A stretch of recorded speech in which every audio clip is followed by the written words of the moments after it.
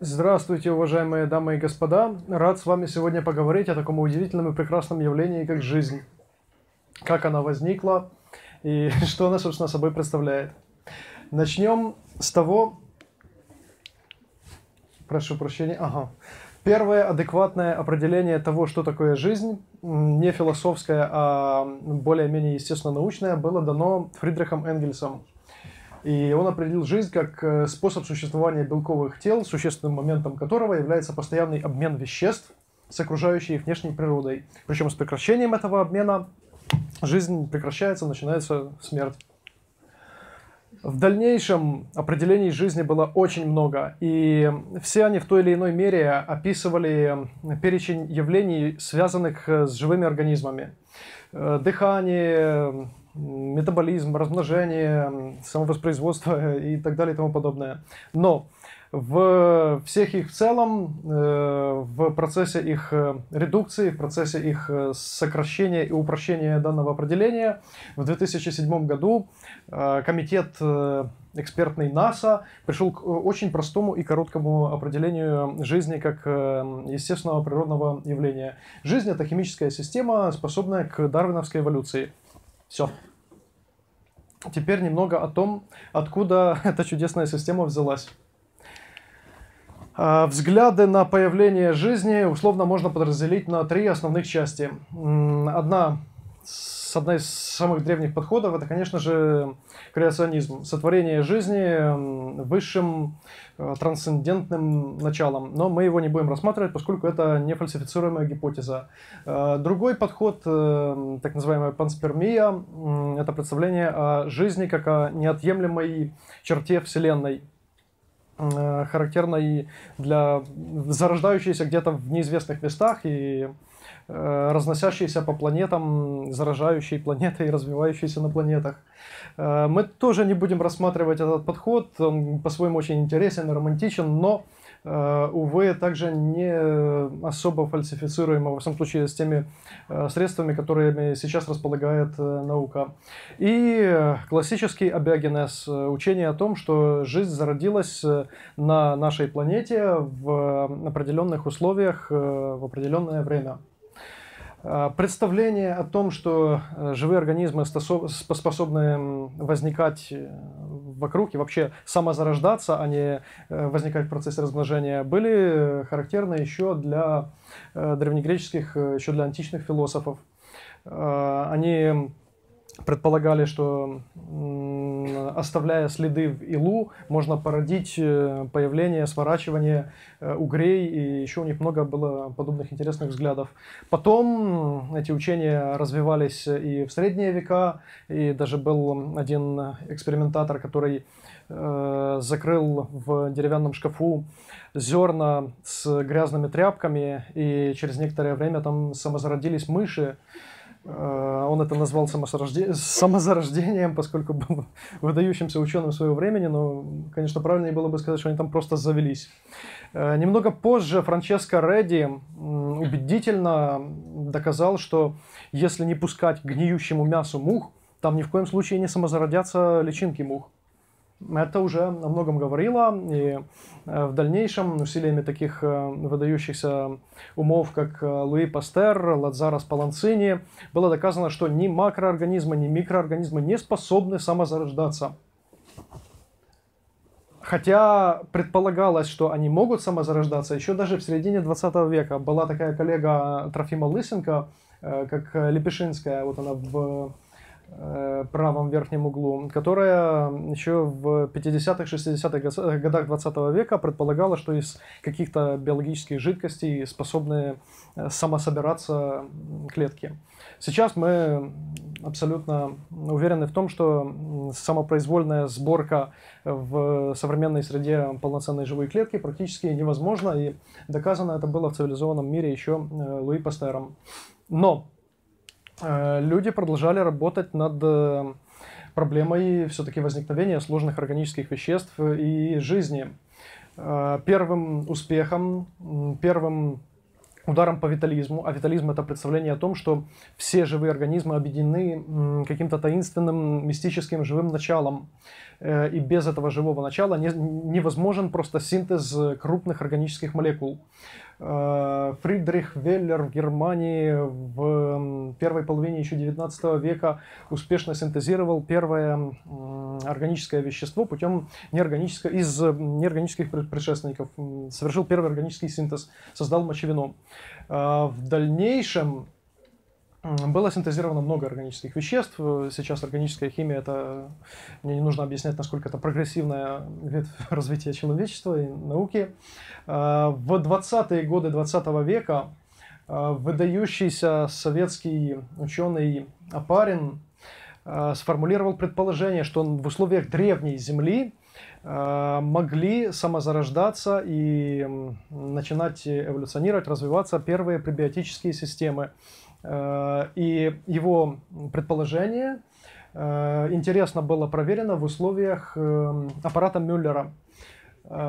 Прошу прощения, Стэнли Миллера. Миллер воспроизвел, как ему казалось, по тем временам довольно адекватно газовый состав атмосферы древней Земли Э, которая, по его мнению, состояла из аммиака, водорода и метана преимущественно. Потом установили, что это не так, но так или иначе в этом аппарате удалось получить первые аминокислоты и даже азотистые основания, которые входят в состав живых организмов, э, причем как очень-очень важные их элементы.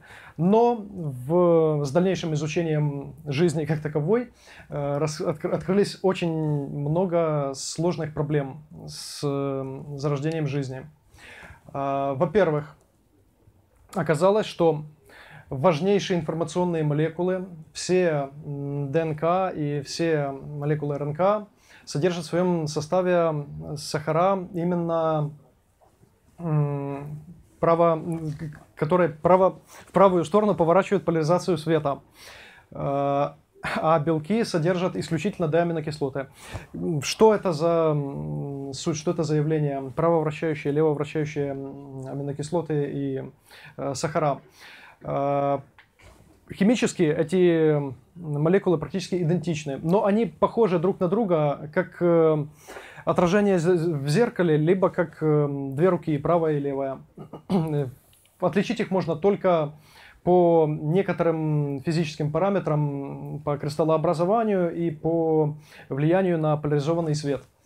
Э, разделить их химически, опять-таки, повторяю, невозможно. Все белки и аминокислоты э, хирально чисты, то есть содержат только одного типа изомер данного вещества. А синтезом суще... э, образуется так называемая рацемическая смесь.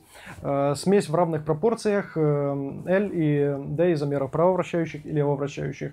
Это до поры до времени было колоссальной проблемой, но сейчас уже есть много вариантов, которые предполагают ее обход, во всяком случае. Вероятность сборки даже из имеющихся в наличии молекул нуклеотидов, эм, э, кирпичиков информационных молекул, э, вероятность сборки осмысленной последовательности э, настолько мала, что различные оппоненты абиогенеза предлагали такие аналогии, как что если пронесется ураган над свалкой металлолома, то такая же вероятность возникнуть жизни, как, как тому, что вследствие действия этого урагана будет случайно собран Боинг, готовый к перевозки людей. Ну, есть много подобных аналогий, но мы в дальнейшем рассмотрим, почему они некомпетентны. И, наконец, а, законы термодинамики гласят, а именно второй закон термодинамики гласит о том, что энтропия закрытой системы не убывает. И развитие, в принципе, усложнение невозможно. Но тоже, как оказалось, просто, просто кое-чего э, не учли те исследователи, которые пытались применить э, непосредственно к изучению жизни э, классические физические, химические и статистические подходы. Э, жизнь вполне возможно окружает нас со всех сторон, более того, мы являемся ее представителями, поэтому должно быть что-то, что смогло бы ее объяснить. И уже в, во второй половине 20 века в физике, как раз таки в термодинамике, появился э, подход, рассматривающий так называемые неравновесные состояния. А именно это ситуации, когда доступен э, довольно большой поток энергии. Э, и в таких ситуациях, когда к системе подводится довольно большой поток энергии, системы становятся способными к самоусложнению. В них спонтанно возникает сложность, и это уже является не противоречием э, классической термодинамики, а при определенном взгляде вполне адекватным, приемлемым процессом. Э, известные такие подобные в природе процессы – это так называемые ячейки бинара. Э, если нагревать жидкость, вязкую, например, масло на сковороде, на, сковороде, равномерно подводя тепло либо от электрической плитки, либо равномерно распределяя огонь, э, Через некоторое время хаотическое движение молекул масла или любой другой вязкой жидкости организуется в Э, целостные, аккуратные шестиугольные ячейки Бернара, где э, потоки э, теплого вещества будут проходить в центре, а по краям будут опускаться молекулы вниз. Вся система одно, практически одномоментно самоорганизуется, пройдет в упорядоченное состояние. То есть, в принципе, в условиях неравновесных, вполне возможно возникновение э, самоорганизующихся сложных систем. Э, но для того, чтобы эти системы дальше развивались, они должны изначально иметь какую-то определенную, довольно большую, э, довольно большой допуск, довольно большую сложность. Опять-таки, вовсе не биолог и не физик, и не химик, а один из основоположников э, кибернетики Джон фон Нейман, э, исследуя такое явление, как самовоспроизводящиеся автоматы, э, установил чисто теоретически так называемый порог, который назвали его именем.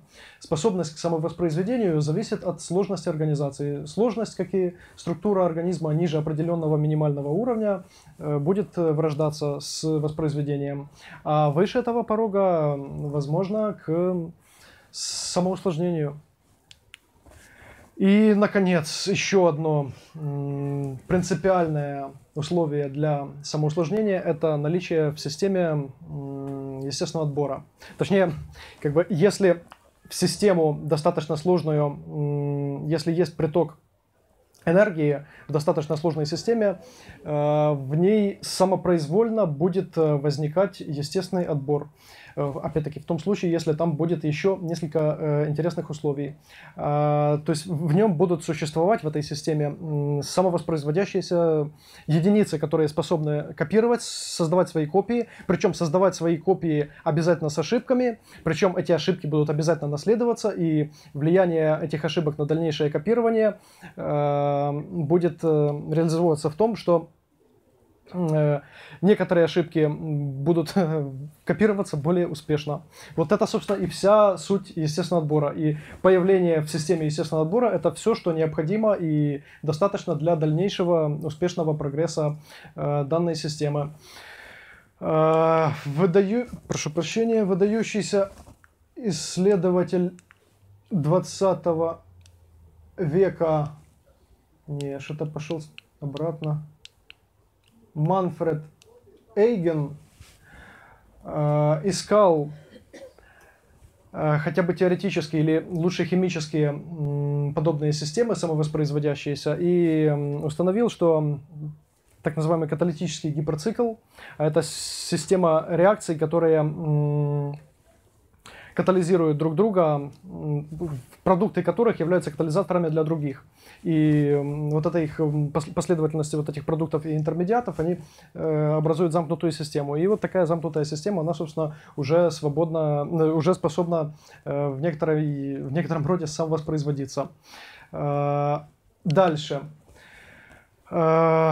Взгляды о том, что из э, определенного набора э, путем случайного перебора должно сразу собраться что-то сложное типа живой клетки, абсолютно не э, обстоятельно и неадекватны.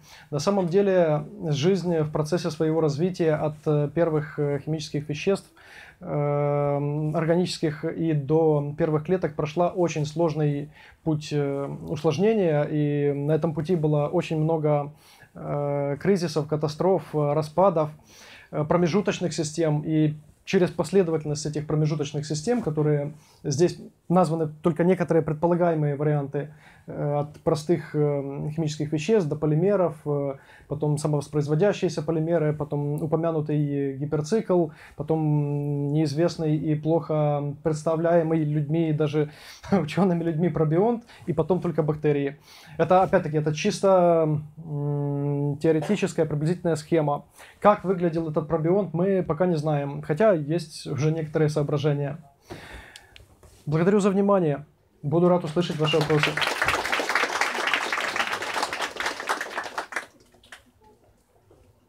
Да? Добрий день. Я не з самого початку слухав, але ну, я зрозумів, що саме по собі клітини, тобто живі організми навряд чи могли утворитись там з молекул. Ну, Сразу клетка точно никак. От, а от зараз ми, знаючи, ну як уже з чого складається клітина, можемо створити самі і наскільки довго цей процес і. Із фрагментів уже можемо, але, на жаль, з нуля з простих хімічних речовин поки що це неможливо. Е, є версія, що для того, щоб повністю створити Е, деново із е, неорганіки повноцінні живі організми потрібна колба або апарат Стенлі Міллера е, розміром з планету. Уже було створено клітини з фрагментів геномів інших клітин. Це було здійснено, але це не синтез живого із неживого. Це збірка, це, це скорее напоминає зборку Це як у нас чудовище Франкенштейна. Зібрати машину, зібрали там колеса окремо, да, якби, і зібрали інші машини. Скорее так, да. Еще вопрос. Насчет печати на принтерах органов э, человека. Из чего это все делается? Из клеток. А клетки откуда? Э, клетки берут э, из донора, либо это могут быть э, очень модно, популярно, но это очень дискуссионный вопрос, мезонхимальные стволовые клетки из зародышевого материала, либо из плаценты, либо из пуповины. И э, эти клетки наращивают, размножают в условиях лаборатории клеточных культур и заряжают этими клетками эти принтеры, которые... Либо другой подход, создается каркас, который потом заселяется клетками. То есть печатью в полном смысле слова это, конечно, нельзя назвать. А в принципе, что такие структуры, да, действительно создаются. Питання на рахунок цього пробіонта. Бо якщо ще більш-менш можливо представити Е, якісь полімери, які здатні е, до поділу, е, то от рівень пробіонта важкувато уявити. Скажіть, будь ласка, от в декількох словах, ваше ну, не моє видіння пробіонта? Ні, ні, як наука зараз бачить цього пробіонта, і чи оці складно організовані системи, які могли дати початок життю, Ну, які вони, вони якісь переваги мали перед, наприклад, неорганічними якимись цими сполуками? Неорганические молекулы в силу своей простоты и отсутствия в них полимерной структуры не способны к самовоспроизведению обычно. Они формируют структуры вроде кристаллов, но кристаллы в полном смысле этого слова не способны запоминать и воспроизводить информацию.